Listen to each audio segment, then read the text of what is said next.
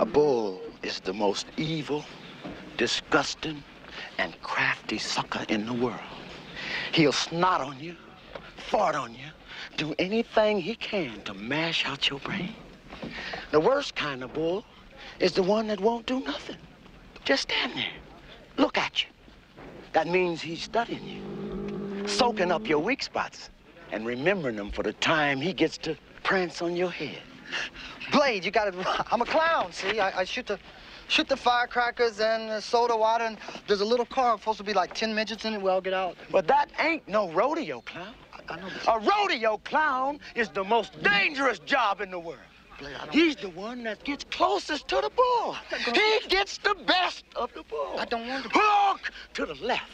Hook to the side. Blade. If the bull rider is in danger, he's got to protect him. Even if it means getting his ribs pulled out and being freight train. Freight train? That's right. Run over, just like a freight train. Only with a bull, it's worse.